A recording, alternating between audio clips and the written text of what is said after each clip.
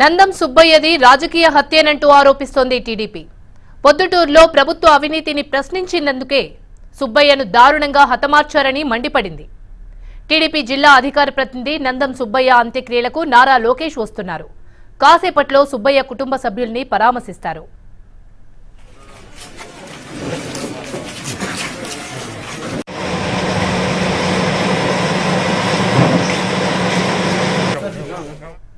అవినీతిని ఎండగట్టినందుకు కక్షగట్టి నందం సుబ్బయ్యను ఎమ్మెల్యే రాచమల్లు శివప్రసాద్ రెడ్డి హత్య చేయించారని ఆరోపించారు నారా లోకేష్.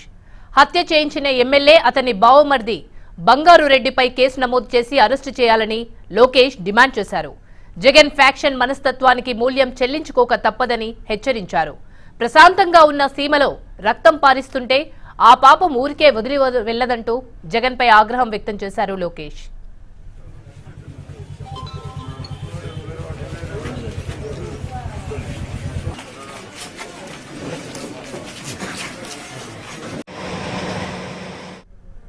ఏపీలో దళితులపై వరుసగా దాడులు జరుగుతున్నా ఎందుకు స్పందించడం లేదంటూ జాతీయ ఎస్సీ కమిషన్కు లేఖ రాశారు వర్ల రామయ్య.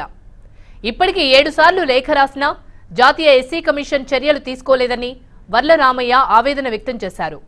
దళితులకు శిరోమండనాలు జరుగుతున్నా పోలీసులు కేసుల పేరుతో వేధిస్తున్నా పట్టించుకోవడం లేదని అసలు దేశంలో జాతీయ ఎస్సీ కమిషన్ ఉన్నట్లా లేనట్లా అని ప్రశ్నించారు వర్ల రామయ్య.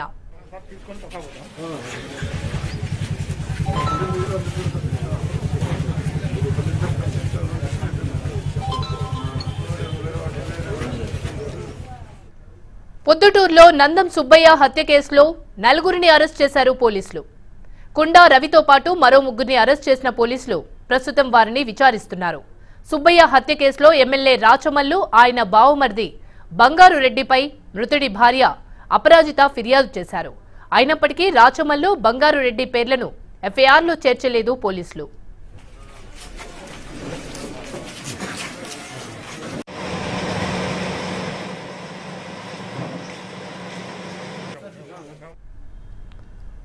తన భర్తను ఎమ్మెల్యే రాచమల్లు శివప్రసాద్ రెడ్డి హత్య చేయించారని ఆరోపిస్తున్నారు. నందం సుబ్బయ్య భార్య అపరాజిత. రాచమల్లు కుటుంబానికి ఎన్నో ఏళ్ళ సేవ చేసినా కనికరం లేకుండా హత్య చేశారని ఆగ్రహం వ్యక్తం చేశారు. ఎమ్మెల్యే ఆయన బావుమర్ది బంగారెడ్డిని అరెస్ట్ చేయాలని డిమాండ్ చేశారు. భార్యనండి నేను. నా పిల్లలు ఇద్దరు పిల్లలండి. నా భర్తకు చావుకు నా భర్త చావుకు కారణం ప్రసాద్ రెడ్డి బంగారెడ్డి కమిషనర్ రాధా అండి. ఎఫ్ఐఆర్ కేసు చేసిన ఫైల్ ఇంతవరకు మాకు ఇంతవరకు ఆ షీట్ ఇవ్వలేదు జిరాక్స్ ఇస్తామని పోలీసు వాళ్ళు ఇవ్వలేదు. అందరు కుమ్మక్కై చేస్తున్నారు ఇట్లా. నా భర్తకు న్యాయం చేయండి. నా భర్త ఎటువంటి తప్పు చేయలేదు. కేవలం కేవలం వాళ్ళ వాళ్ళు చేసిన అరాచకాలన్నీ బయట పెడుతున్నారని చంపినారండి. నా పిల్లలకి ఎవరు? ఆయన సెల్ ఫోన్ ఒక వీడియోలో కనిపించింది. ఒక సెకండ్స్కి ఆయన సెల్ ఫోన్ కనిపించలేదు నాకు ఆ మొబైల్ కావాలి. ఆ మొబైల్లో అన్ని ఎవిడెన్స్ ఉన్నాయండి. ఆ ఎవిడెన్స్ బయట పెడతాడని తెలిసే వాళ్ళు చంపేసినారండి నా భర్తను. ఆయన ఇంటి దగ్గర నుంచి ఒక్కడు వెళ్ళలేదండి. వేరే అబ్బాయి వచ్చి ఎక్కించుకొని పోయినాడు. అబ్బాయి ఒక్కడే వెళ్ళాడని అందరికీ చెప్తున్నారు. కానీ ఇద్దరు ఇద్దరు ఒక వేరే అబ్బాయి వచ్చి ఆయనను ఎక్కించుకొని పోయినారు దయచేసి మొత్తం రోడ్ షోలో అన్ని సీసీ కెమెరాలు ఉంటాయి. దాన్ని ఎంక్వైరీ చేయండి. డిలీట్ చేయకోకుండా చెయ్యండి టైమింగ్స్ అన్ని నా దగ్గర ఉన్నాయి. నా భర్తకి నేను ఎప్పుడు ఫోన్ చేసినా. నా భర్త ఎప్పుడు బయటికి వెళ్ళారు? అంతసేపు ఎంతసేపు గల వెళ్ళగలుగుతాడు? నేను ఎప్పుడు ఫోన్ చేసినా ఫోన్ రింగ్ అవుతుంది కానీ ఫోన్ ఎవరు లిఫ్ట్ చేయలేదు. నేను వెళ్ళేసరికి అంది స్పాట్లో ఫోన్ లేదండి. కేవలం బంగారెడ్డి ప్రసాద్ రెడ్డి మాత్రమే. కమిషనర్ రాధా. వాళ్ళ ముగ్గురిని నాకు న్యాయం చేయండి వాళ్ళ ముగ్గురిని ఏం చేశారో నాకు తెలియదండి. నా భర్తకు న్యాయం చేయండి. అంతే అండి. ఎంతకన్నా సెల్ ఫోన్ మటుకు బయటికి తీసుకురండి. నా పది రోజుల నుంచి నా ఇంటి చుట్టూ కాస్త మనుషులను కూడా బ్రంగ- బంగారెడ్డి పంపించి కొడవలతో అందుకు తిరగదీస్తున్నాడండి. అప్పటి నుంచి తను ఒక్కడు పోవట్లే. నిన్న వేరే అబ్బాయి తెలిసిన అబ్బాయే తనకు మాట్లాడినాడు. మళ్ళీ తిరిగి చూసేసరికి లేడు. నేను ఫోన్ చేద్దాం అనుకుని నేను ఫోన్ చేయలేకపోయినాను తనకు. పిల్లలు టిఫిన్ అంటే దోశ వేసా నేను. అప్పటికే తను చనిపోయినారని చెప్పినానండి అందుకే నేను ఫోన్ కూడా చేయలేకపోయినాను. నేను మా మరిది వచ్చి ఇట్లా జరిగింది వదిన అని చెప్తే నేను ఫోన్ చేస్తే ఫోన్ కూడా లిఫ్ట్ చేయలేదండి. కడప జిల్లా పొద్దుటూరులో హత్యకు గురైన టీడీపీ నాయకుడు Nandam Subbaiah మృతదేహానికి PCC working president Tulasireddy TDP నేతలు Putta Sudhakar Yadav Rajampet TDP parliamentary convener Srinivasareddy Reddem Venkata Subbareddy తదితరులు నివాళులర్పించారు. రాష్ట్రంలో శాంతి భద్రతలు పూర్తిగా క్షీణించాయని తులసిరెడ్డి మండిపడ్డారు. జగన్ పాలనలో ప్రజల ధన మాన ప్రాణాలకు లక్షణ కలువైందని అన్నారు. ఎప్పుడు ఎవరి ప్రాణాలకు నూకలు చెల్లుతాయో తెలియడం లేదని ఆవేదన వ్యక్తం చేశారు. రాష్ట్రంలో రాక్షస పాలన రాజ్యమేలుతోందని అన్నారు. గత నాలుగైదు మాసాల్లో జిల్లాలో అనేక మంది హత్యకు గురయ్యారని అవినీతిని ప్రశ్నించినందుకు నందం సుబ్బయ్యను హత్య చేయడం దారుణమని అన్నారు. సుబ్బయ్య హత్యకు కారకులైన వారిని వెంటనే అరెస్ట్ చేయాలని డిమాండ్ చేశారు. రాష్ట్రంలో శాంతి భద్రతలు కాపాడడం చేత కాకపోతే సీఎం జగన్ వెంటనే పదవి నుంచి తప్పుకోవాలని అన్నారు.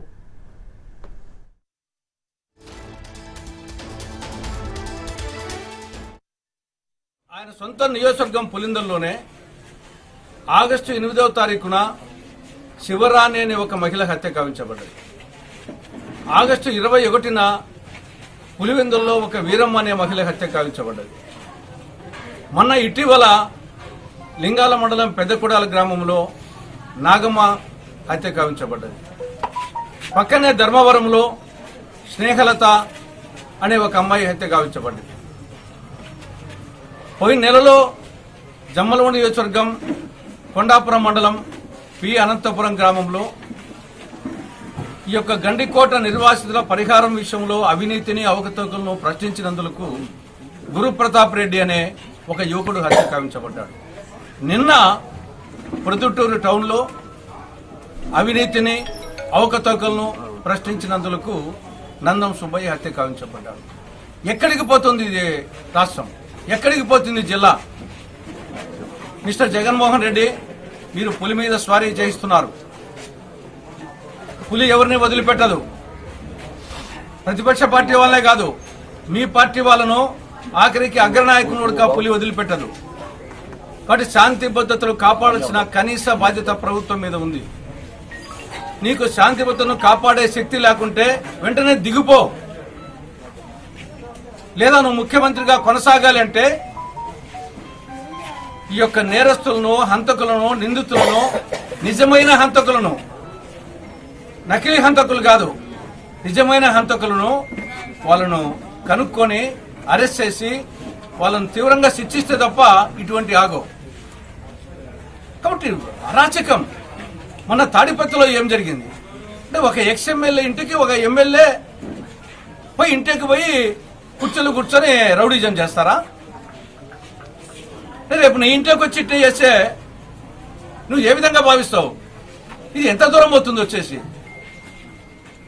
నిజంగా నీ ప్రోద్బలమే లేకుండా పోతే ఇవాళకు తాడిపత్రి ఎమ్మెల్యే కేతిరెడ్డి పెద్దారెడ్డిని నీ పార్టీ నుండి సస్పెండ్ చేసి ఉన్నారు ఇవాళకే. మిగతా కేసులు తర్వాత జరుగుతాయి. నిజంగా మీ పార్టీ పరంగా అది ప్రత్యక్షంగా వచ్చేసి అతను అతని ఇంట్లోకి పోయి టెస్ట్ పాస్ చేసి పోయి పోయినప్పుడు నిజంగా నువ్వు ఇమ్మీడియట్గా నీ పార్టీ నుండి ముందు సస్పెండ్ చేయాలి అతన్ని. తర్వాత క్రిమినల్ కేసులు అయిన తర్వాత ఉంటాయి. కాబట్టి దీన్ని బట్టి ఏమర్థమవుతుంది? నీ ప్రోద్బలముతోనే ఇటువంటి సంఘటన జరుగుతుందని చెప్పేసి మెడకాయ మీ తలకాయ ఎవరికైనా అర్థమవుతుంది.